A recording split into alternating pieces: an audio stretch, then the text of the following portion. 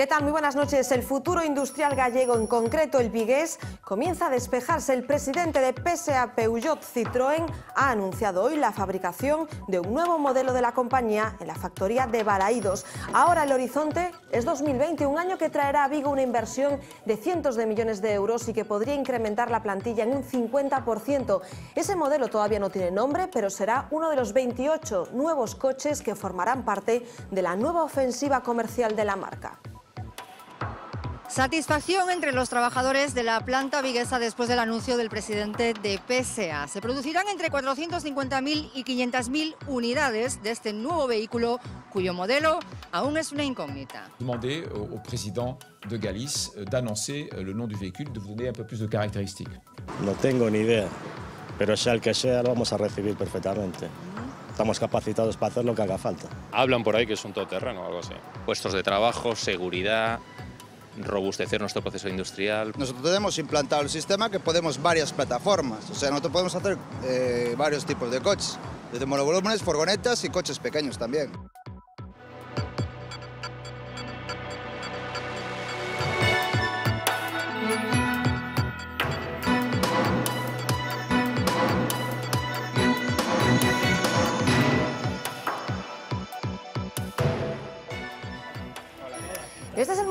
El que la inspección se presenta en esta finca de Rego de Moa, en Fene. A solo 500 metros del casco urbano hay acumulados 90.000 neumáticos. Están abandonados, pertenecen a la antigua Ruber Industrial del Caucho y llevan en este lugar más de 15 años. Observando esta imagen es imposible no visualizar la pesadilla del incendio de Seseña. Ha sido el vigilante de este recinto quien ha presentado la denuncia. Él mismo se ofrece a talar los árboles más cercanos para evitar un posible polvorín. Si prende fuego con la arboleda que hay, esta es una catombe. Yo pido limpieza inmediata, corte de árboles y todo en todo el circuito. Quedó así lo que es en completo abandono. Son, son 5.700 metros cuadrados.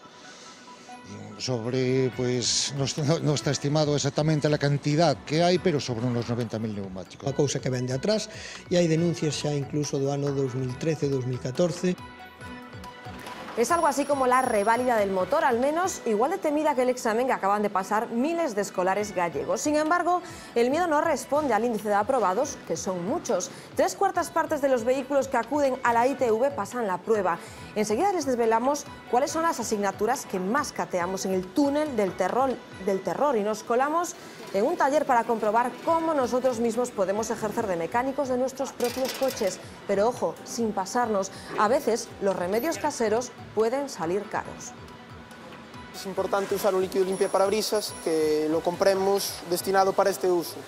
El uso de Fairy o de Cristasol o productos de este tipo pueden provocar que la bomba del agua del líquido limpia parabrisas obstruya, teniendo que repararla más adelante por su apatía y por su clara falta de voluntad a la hora de encontrar un empleo. Son las razones que ha esgrimido la justicia para retirarle la pensión de alimentos a un joven vigués de 24 años. Su progenitor ha conseguido que la audiencia de Vigo ratifique lo que ya había establecido el juzgado de instrucción, que su hijo ni estudia ni trabaja y que además ni lo intenta por tanto, no debe proporcionarle esa paga mensual. La ley establece que la obligación del padre puede cesar por mala conducta del hijo o por su falta de aplicación en el trabajo. El joven abandonó los estudios en tercero de la ESO y desde entonces solo ha tenido trabajos puntuales y esporádicos. Le llaman la enfermedad del dolor o incluso la enfermedad inventada. La padecen entre un 1 y un 4% de la población y afecta principalmente a las mujeres. La Fundación Galega de Medicina Xenómica, la Asociación ACOFIFA y la Sanidad Gallega buscan estos días en A Coruña el gen de la fibromialgia. No se conoce su origen y por lo tanto su tratamiento tampoco está claro. Es más, la OMS no la reconocía como enfermedad hasta el año 1992. Los que la sufren dicen sentirse incomprendidos y es que ¿cómo de incapacitante puede ser un dolor? Es algo así como la vida secreta de las larvas del pulpo. ¿Dónde viven? ¿Qué comen? Preguntas a las que los investigadores llevaban años intentando dar respuesta. Ahora unos científicos del CSIC de Vigo lo han conseguido. Según las conclusiones de Ecobiomar, las rías gallegas son algo así como una guardería de pulpos. Las hembras desoban aquí, las larvas salen a mar abierto para alimentarse y luego regresan. El descubrimiento sobre su forma de alimentarse cuando miden apenas unos milímetros abre la puerta a lo que el sector lleva años esperando, la cría en acuicultura, es decir, pulpos de piscifactoría.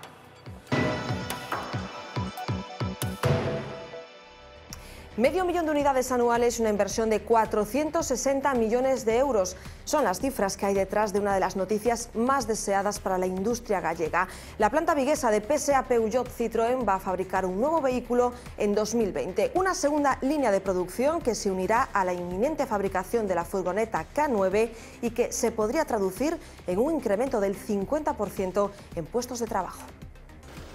Después de visitar la planta madrileña del grupo, el presidente de PSA hizo hoy parada en Vigo, donde confirmó la noticia más esperada. La planta de Balaídos fabricará un nuevo vehículo a partir de 2020. C'est un moment heureux pour l'usine de Vigo, qui est totalement la conséquence du travail qui a été mené par les collaborateurs de l'usine, par l'ensemble des métiers qui sont en soutien de l'efficacité industrielle de l'usine. L'introduction de ce nouveau véhicule se traduira par un niveau d'investissement de l'ordre de 640 millions d'euros. Un espaldarazo que supone que esta factoría tiene un futuro despejado para a próxima década? Completar o puzzle que se empezou no seu día co Canove e que garantiza ter unha fábrica con dúas liñas de producción, volver a recuperar volúmenes de empleos. Los sindicatos confían en que la nómina de trabajadores, ahora de 5.500, se incremente en un 50%. Nun horizonte de entre 7.500 e 8.000 traballadores, eu creo que sería factible. 450.000 e 500.000 vehículos par an, ce qui suppose qu'on va utiliser pleinement euh, la, capacité, la capacité de l'usine. Estamos muy contentos. Todo lo que sea trabajo, bienvenido sea. Y que la planta vaya para adelante, pues es bueno para el futuro nuestro y para el futuro de Vigo. Muy bien, muy contentos. Y para los eventuales como nosotros, sí, claro, va a haber mucho más trabajo y mejor. El comité de empresa, conocedor de la noticia media hora antes del anuncio conjunto de PSA y Sunta, rescatará la propuesta de un cuarto turno de trabajo.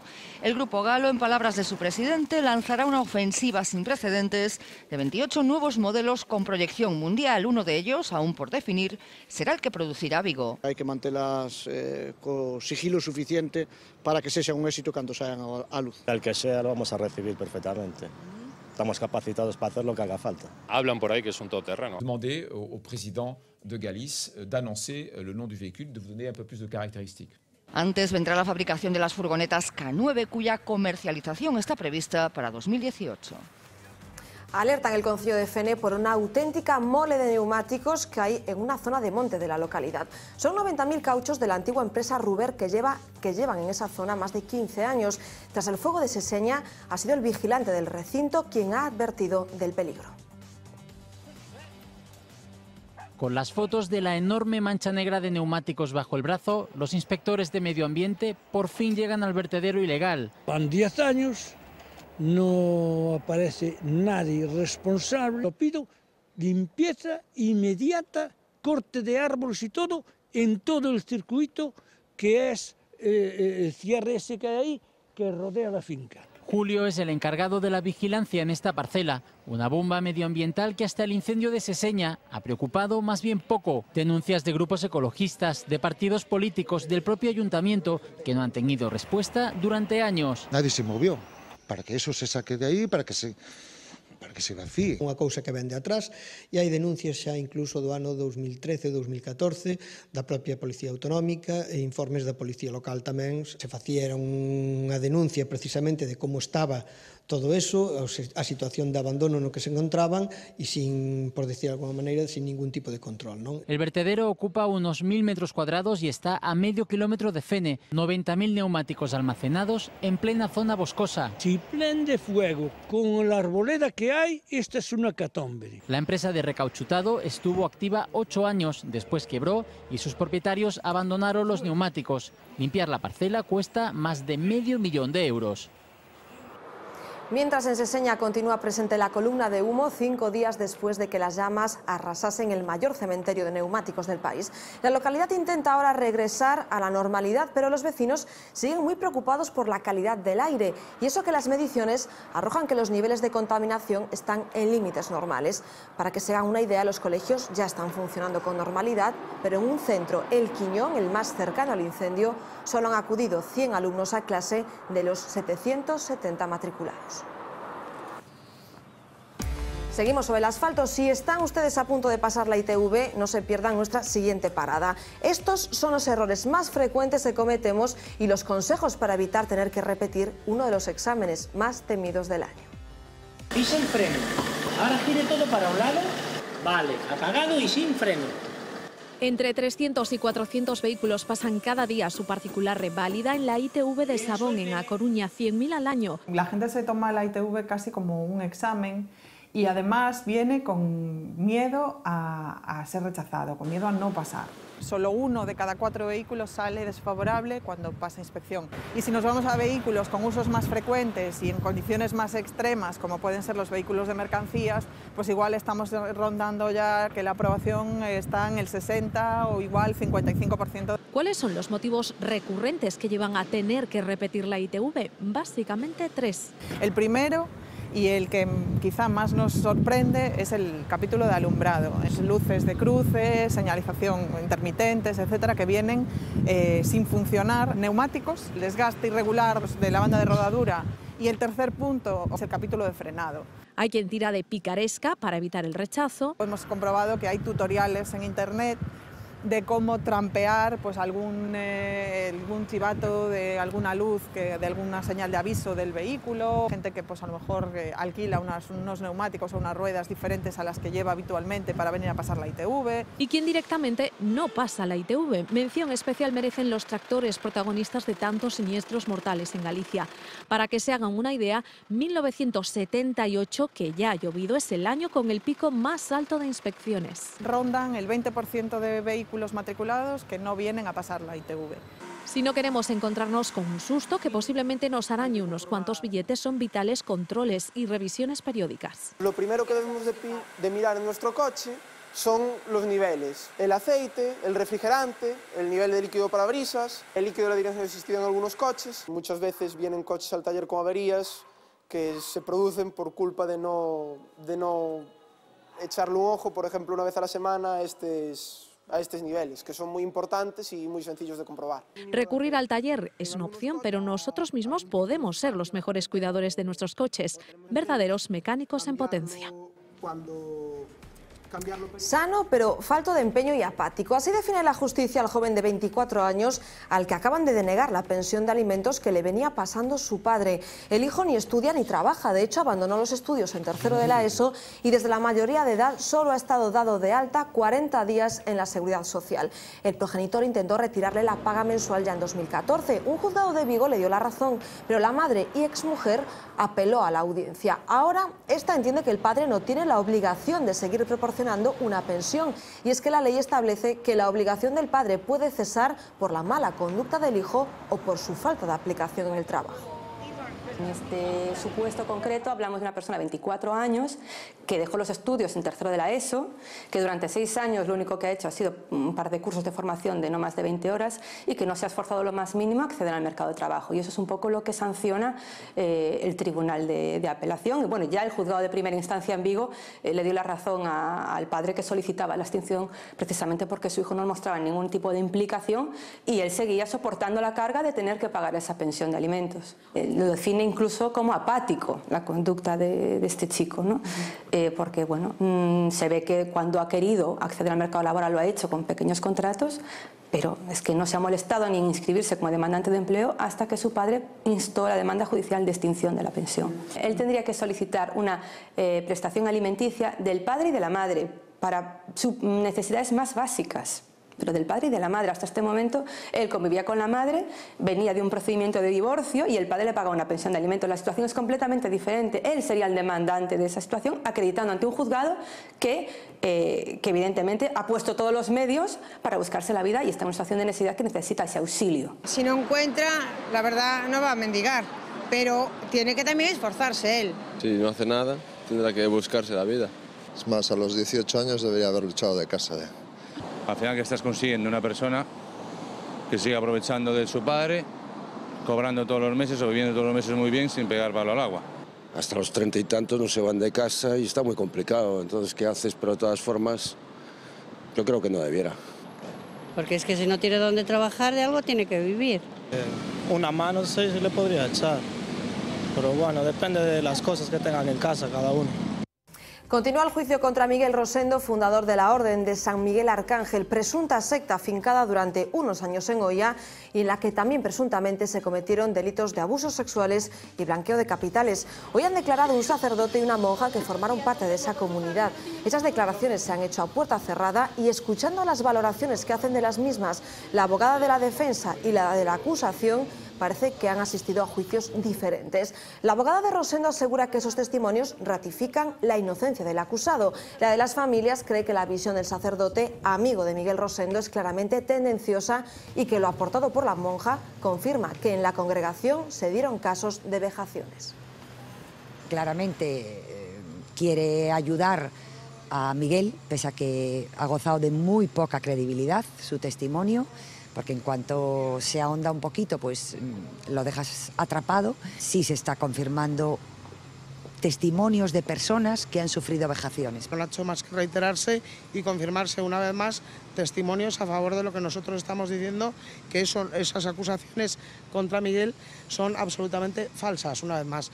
Y estos dos testigos lo han ratificado. El arzobispo de Sevilla ha pedido mesura en los gastos de una primera comunión y es que esta celebración se está convirtiendo casi casi en una mini boda. Traje, complementos, flores, fiestas. En el mes de las comuniones cogemos la calculadora para saber cuánto nos cuesta esta celebración. Vamos a intentar organizar la primera comunión de una niña con unos 30 invitados. Comenzamos los preparativos, calculadora en mano. La primera llamada es a la iglesia. Hola, buenas tardes. Quería ver la posibilidad de hacer la comunión a una niña de 9 años. En la parroquia en la que llamamos hacen una media de 110 comuniones anuales, la mayoría conjuntas. Ellos se encargan de la decoración. El coste para los padres sería cero, pero sí aceptan aportaciones voluntarias.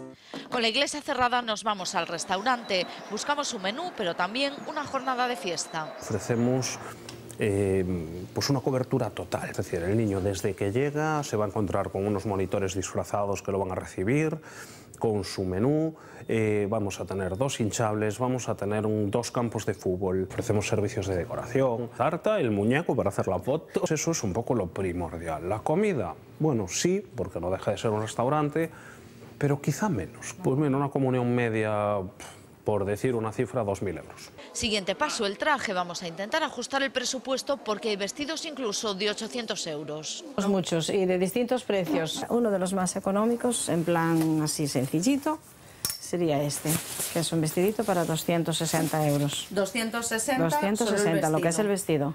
Pero después ya vámonos un poquito más a los clásicos. También a partir de 300 hay vestidos. Eh, nos vamos a quedar con el de 260, pero claro, necesitamos complementos. Bueno, pues mira, aquí ya empezando por el cancán, que nosotros lo tenemos a 35 euros. Y, y después ya algo para el pelo, le pondría esta para este traje le pondría esta. ¿Y esta cuánto nos cuesta? Esta cuesta 33. Vale 56 y este 53. 260 más 35 más 33 de la diadema y 56. 384. Nos llevamos ya de aquí el vestido y todos los complementos. Nos hemos gastado casi 400 euros. Nos quedan las fotos. Elegimos este estudio y pedimos presupuesto. Queremos el reportaje previo, recordatorios y el día de la celebración. Entre 250 y 500 euros, más 80 por el vídeo. Tenemos lo básico, así que hacemos la cuenta. Decidimos aportar 25 euros a la iglesia, le sumamos 2.000 del restaurante y la fiesta, 384 euros del traje y los complementos y 330 de las fotos y el vídeo. En total nos gastaremos 2.739 euros. A partir de ahí, hasta donde ustedes quieran llegar. Dispararon por temor a ser atacados, es lo que han declarado ante el juez los detenidos por el tiroteo ocurrido el pasado domingo a, puertas, a las puertas del hospital de Urense. El enfrentamiento entre los dos clanes residentes en el poblado gitano de Afontenla, ya tenían precedentes. Según la versión de los arrestados, hace un mes atacaron la casa de uno de ellos y los autores de ese ataque fueron las personas que estaban en la entrada del hospital el domingo. Por eso cuando los vieron, dispararon por temor a ser atacados, dicen, con puntas de acero por el otro grupo. Cuatro detenidos están en prisión preventiva, se les investiga por un delito de homicidio, intento de homicidio, tenencia ilícita de armas y amenazas. Este que ven es un auténtico caramelo, dicen dentro del mercado inmobiliario, lo que se llama un piso chollo, seminuevo, 120 metros cuadrados, amueblado, cuatro habitaciones y dos baños. Su dueño lo vende por 30.000 euros, un precio muy, muy por debajo de los precios de mercado de la zona. Está en Vilanova de Lourenzá, en Lugo. Su propietario se quiere deshacer de él y en pocas horas ha recibido decenas de llamadas de toda Galicia para interesarse por esta vivienda. Empresas, voluntarios y ONGs que trabajen con niños en actividades dependientes del Ayuntamiento de A Coruña tienen que presentar el certificado que acredite que no son delincuentes sexuales. El gobierno local de la ciudad de Herculina ha empezado a aplicar ya la ley de protección a la infancia que recoge en uno de los apartados lo obligatorio de presentar ese documento. El certificado del Registro Central de Delincuentes Sexuales se puede solicitar de forma gratuita desde el pasado 1 de marzo. Son las personas que se encargan de revisar, entre otras cosas, que el agua de la traída vecinal de colegios, playas o piscinas esté en buenas condiciones. Garantizan también que las instalaciones de aire acondicionado no supongan un peligro por la presencia de legionela. Supervisan hasta los centros de tatuajes. Son los inspectores de farmacéuticos de salud pública. Han salido a la calle para exigir más personal y más recursos. Donde debería haber 100 plazas, ahora trabajan 62 empleados.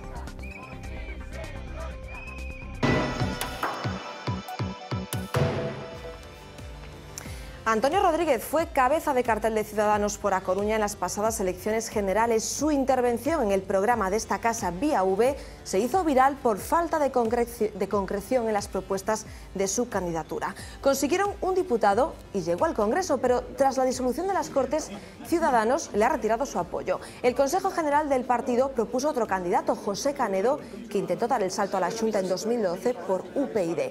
Antonio Rodríguez no acepta el relevo, desmiente las razones alegadas por el partido, entre ellas que no se alcanzaran los objetivos electorales planteados. Tacha el movimiento de cacicada y asegura que seguirá luchando para que se respete el resultado de las primarias. En absoluto, quiero dejar claro que se debe a razones profesionales, ni estoy seguro que es por un tema de comunicación. Yo he liderado la candidatura y he conseguido el objetivo. Si era válido entonces, ¿cómo puedes decirse ahora que no era válido? No lo entiendo. Y la única explicación de todo esto es que se pretende menoscabar mi imagen pública y degradar mi trabajo y mi profesionalidad. Y que todo este cambio eh, ha sido una propuesta formulada por la Ejecutiva de Ciudadanos de Galicia. ¿Por qué aún no han dado la cara y han defendido lo indefendible? O sea, un dedazo y una cacicada en toda regla.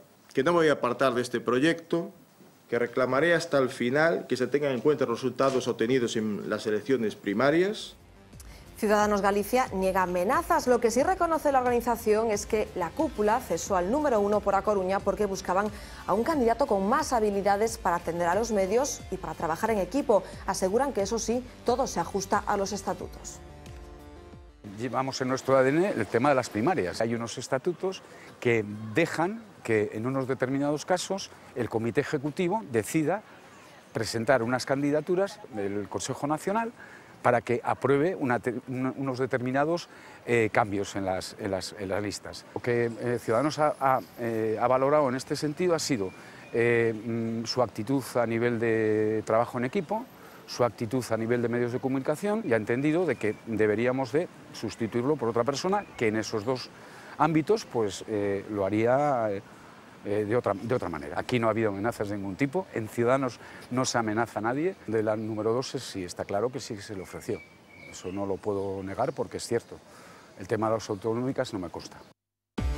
Este conflicto de Ciudadanos Galicia y mucha más política llega esta noche, como siempre, a partir de las 10 a la mesa de Envía V. Fernanda Tavares, buenas noches. ¿Qué tal, Gladys? Muy buenas noches. Bueno, pues efectivamente hablaremos de este conflicto y tendremos en directo a Antonio Rodríguez, al diputado que ha sido eh, depurado, digamos, de las listas eh, de Ciudadanos. No será nuestro único invitado porque a partir de las 10 de la noche, en directo, estará con nosotros José Luis Méndez Romeu. Como saben, en estos momentos es eh, portavoz del PSDG en el Parlamento de Galicia, pero aspira a convertirse en el candidato de esta formación eh, para eh, las próximas elecciones eh, de la Junta de Galicia. Así que muchas cosas que preguntarle, muchas cosas que debatir y un punto de vista juvenil también, el que abordaremos en el último tramo del programa con cinco representantes de diferentes fuerzas políticas, pero de la división de los juveniles para saber cómo interpretan este particular momento que estamos viviendo.